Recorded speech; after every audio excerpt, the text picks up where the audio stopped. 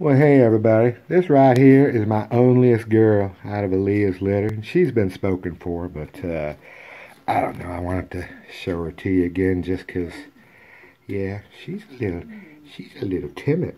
I don't know if it's growing up with four brothers or five brothers or what it is, but yeah, she, uh, she, she likes, she, I pulled her back from over there in the back corner kind of thing, and yeah.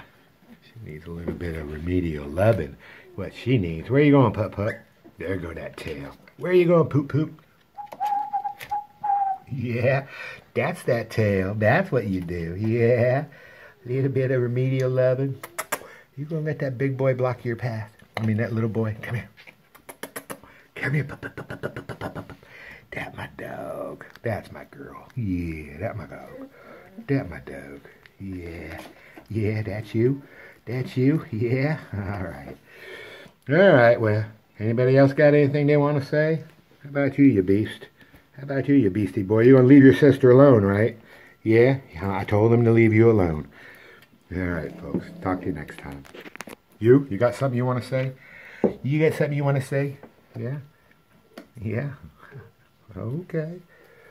I ain't, I ain't mad. You can go over there. Yeah, I'm sneaking up on you from behind. How about you? Like I'm sneaking up on your butt too. Yeah, you are, boyfriend. Yeah.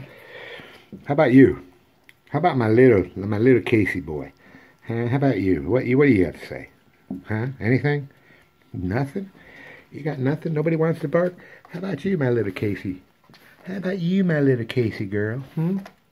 Yeah? All right, folks. Talk to you next time.